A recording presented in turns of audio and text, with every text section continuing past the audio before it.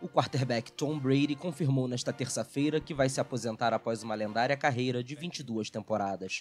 Considerado o melhor jogador da história da Liga de Futebol Americano da NFL, ele é detentor de um recorde de 7 Super Bowls. No Instagram, o marido da brasileira Gisele Bündchen disse que está deixando o esporte depois de decidir que não poderia mais assumir o compromisso competitivo para continuar. O anúncio encerra dias de especulação sobre o fim iminente da carreira após a eliminação do Tampa Bay Buccaneers nos playoffs. A mensagem não menciona os Patriots, time em que jogou por duas décadas, e não confirma se continuará ligado ao futebol americano. Brady deixa a NFL aos 44 anos, com três prêmios de jogador mais valioso da temporada, 15 eleições para o Jogo das Estrelas e como líder da história em passes completos, jardas aéreas e passes para touchdown.